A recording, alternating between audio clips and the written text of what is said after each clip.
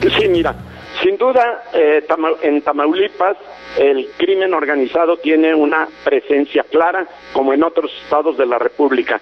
Pero en relación con los hechos últimos, hay que precisarlos para que juzgue tu público.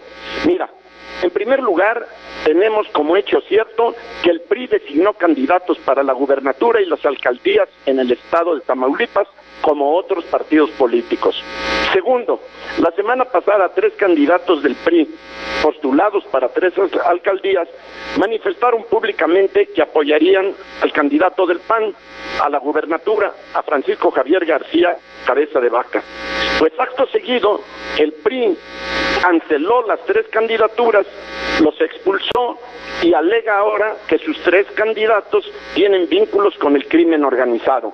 A mí me queda claro que si los hubiera expulsado por apoyar al candidato del PAN, sería una decisión perfectamente justificada de acuerdo con las leyes internas del PRI y de cualquier partido político en el mundo.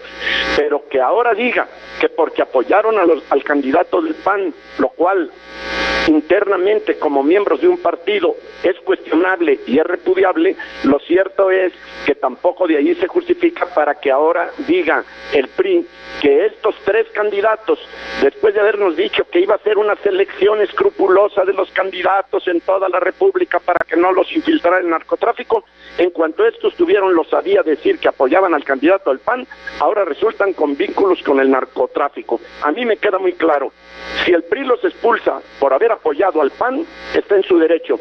Si los expulsa acusándolos de que tienen vínculos con el narcotráfico, tiene la obligación ética y política de demostrar que están vinculados.